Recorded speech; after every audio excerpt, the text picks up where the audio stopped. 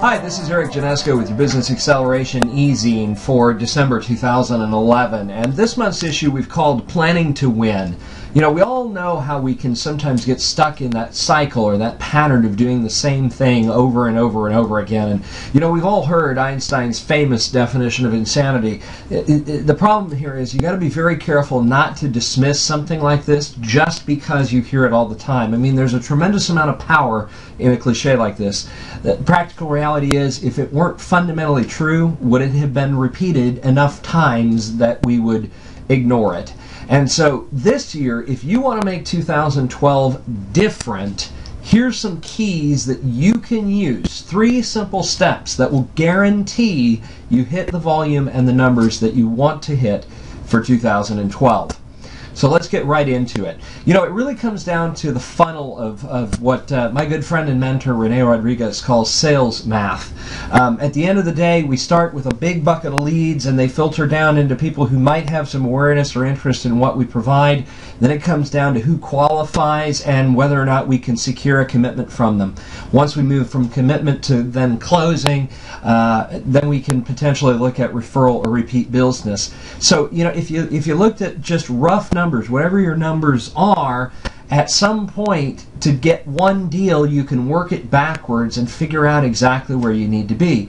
Now for most of us in the industry you could for example use these numbers. If you want to get one closed deal you've got to talk to one and a half people who are going to write a contract or put in a full loan application. To get uh, one and a half full loan applications, you got to have basically two and a half appointments. To get two and a half appointments, you need to find five people who have a definite need to benefit from a mortgage or from buying or selling a property. And to get five leads, how many out of uh, you know, how many people do you have to talk to to find five people that have some sort of need to either save money via refinance, restructure their mortgage for other reasons, or buy a new home or sell. Um, you know, so you know, let's say it takes 25 people. I mean, you know, the practical reality is, if you look at the numbers in our real estate, in the mortgage or real estate business, um, you know, the average life of a mortgage is 29 months. The average time of home ownership, according to national statistics, most recently, is a little over five years. So, if you know, I mean, think about the people you put in a home five years ago, for example, if you're a realtor, the people you put in a home five years ago, what maybe maybe has changed in their life over the last five years? Maybe they've had a couple of additional kids. Uh, maybe their kids are going to different schools because they're different age ranges now. Maybe they've changed jobs and their commute is different, and therefore the home they're in no longer meets their needs. At the end of the day, how many out of ten people are in a position where the home they're in is no longer the home they need to be in. So that creates an opportunity, and it's just simply a matter of figuring out how to filter through it. You know, it's kind of like breathing. I mean, take this analogy for just a second. If you're, uh, if you went to your doctor and he took your blood pressure and he said, "Wow, this is ridiculously high. You need to fix this," and he turned around and walked right back out of the exam room, you'd be kind of ticked with him, right? Fact, your blood pressure would probably be even higher at that point because you don't necessarily know how to fix your blood pressure. But you fire that doctor, you go to the second doctor, and the second doctor says, Wow, your blood pressure is really high. You really need to fix this. So he says, Okay, here's what I want you to do, Joe. I want you to take some time. I want you to do some slow, deep breaths with me. In fact, all of you, do it with me now for just a second. Five count in, five count out. Ready?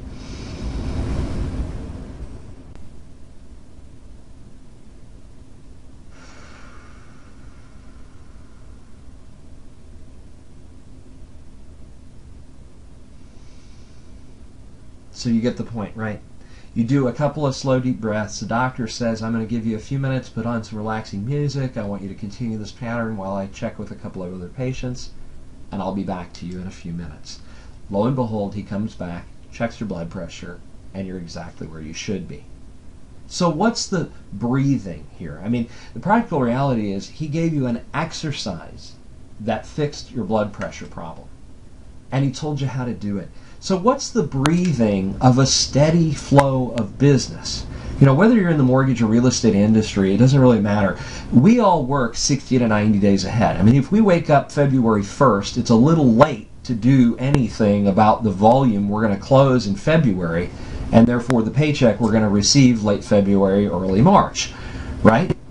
So, what are the things we need to be doing on a daily, weekly, monthly basis to make sure that our February, our March, our April are the volume that we want to be doing during those time frames?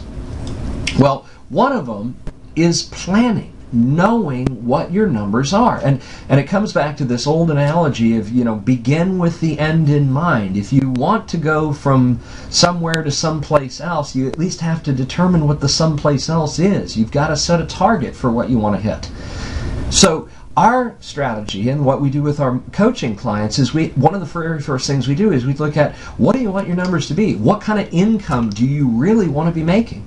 So I want to challenge you right now to maybe even pause this video, grab the tool that we've attached along with this video, or if you if you're watching this on YouTube and you've picked this up and you're not a regular customer of ours, give us a call. We'll be happy to get uh, you access to these tools. Uh, but the whole idea here is take five minutes to plan out what exactly you want your numbers to look like using this volume goals worksheet. Well, in this example, based on these numbers, you'd need to do three leads a week to generate the kind of volume that you want to generate. So the next question becomes okay, every week my job is to get three leads a week. If I get to Thursday afternoon uh, or Thursday midday and I don't have my three leads for the week, what do I need to do? Well, I need to get on the phone and, and find some other people to talk to. Maybe it's touching base with my past clients and talking to them about what maybe has changed over the last couple of years since I helped put them in a home or last did a refinance of their mortgage. Maybe it's talking to them about who they know that may have had a change in, in the number of children they have or where they're working job wise or um, they're making a lot more money or they're making a little bit less money and maybe they're a little bit squeezed budget wise and would need some help. And with the mortgage being such a significant part of somebody's budget, maybe there's an opportunity there with the fact that you know interest rates are in the low fours today versus mid sixes two, three years ago. Um, you know, there's a lot of opportunities to help some people. And, and really, that's kind of what I'm talking about here. The next step is then, okay, let's get creative about ways that we can reach a bigger audience. You know, think about it from this perspective. If you're going after talking to people, you're fishing right? You're going out to try and find people who need some help. Um, so we have a couple of options. You know, we can fish with a rod and reel, or we can fish with a net. Now, fishing with a rod and reel can be a lot of fun, but there's a lot of things that can go wrong that keep the fish in the water instead of in the boat, right? So what if we fish with this? Do you think we have a real, a more probable, a more practical chance of catching a couple of pounds of fish a day and being able to feed our family more effectively? But what if we cast a bigger net? What if we reached out to a larger group of people in a shorter period of time? Now, can you do that by yourself? The, the thing I want to challenge you to think about is all the opportunities that are out there. Um, you know, in, in think about the big circle that we talk about with people. I mean, how is it, how many people do you know that, that maybe you've put in a home in the last 12 months that have a tax deductible event because they bought a home and they paid some origination points? Of course, with the new 2010 GFE, um, you know, all of it basically falls under origination, right? So there's a bigger tax deduction than there has likely ever been before when people bought or refinanced a mortgage. Well, what if you sent out a letter to all of your past customers with a copy of their um, HUD statement that shows the origination points they paid?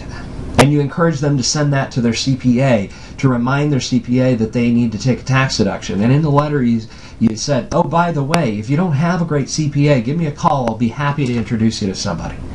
Now all of a sudden you're connecting to, you know, how many people have you put in a home or how many loans have you done this year? 50, 80, 100, 150 people?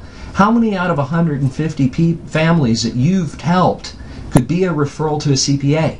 And what's the likelihood that if you handed 10 new customers to a CPA this tax season, that he wouldn't be much more probable to introduce you to the couple of families he's working with over the next four months that probably could benefit from refinancing their mortgage or buying another home?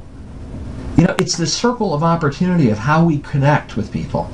So, this, the third step in this process, once you decide what your goals need to be and you decide a course of action to take to get you there, and oh, by the way, if you're struggling with what's the next best step for you with going after some, uh, some great opportunities, give us a call. We'll be happy to walk you through it. So, what's the next step? Well, the next step is figure out where you want to go. What's the key to keeping on track throughout 2012. Well, there's a law called the Hawthorne effect, and it says what gets measured gets done. In other words, track it. Find out what you're doing on a weekly basis. Set a specific target. At the end of the day, focus on doing more this week over last week because when you start looking at that progress and celebrating and rewarding your progress as opposed to beating yourself up for what you didn't do, you're going to be more energized. You're going to have more value to share with your past clients. So here's a simple tool you can use every week. Print off a copy of this. You know what your number of calls is that you that you're trying to target. You know how many people you want to try and reach out to. You know what your volume is each week. So if I make 12, 15 phone calls and, and 12 connects and I get three leads a week, I'm going to know whether I'm on track or not.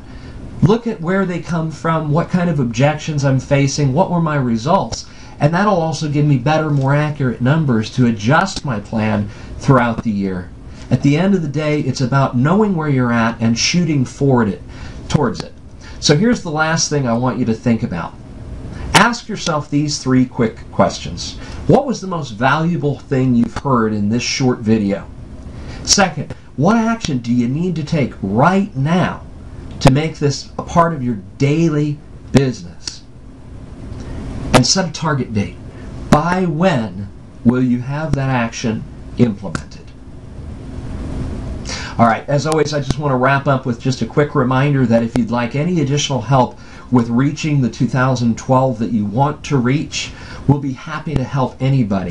So simply give us a call. Our coaching team would be happy to schedule a strategy session for you where we'll take a look at one of your bigger challenges. We'll help you plan out a specific action strategy with some accountability and tie ins to it. We'll give you all the tools and resources you need to be able to make something happen for yourself. And of course, it's just the simple, easiest way we've found to help you understand whether coaching is the right next best step for you in reaching your goals. So give us a call. There's no cost, no obligation, just something we want to offer to you as a gift. Short of that, I want to thank you and congratulate you and wish you the best of holiday seasons. From all of us here at Maximum Acceleration, I want to thank you for all you've done for us this year to make 2011 a great year, and we look forward to working with you throughout 2012 to make 2012 the best year ever for you, your family, and your clients. Thank you and make it a great year.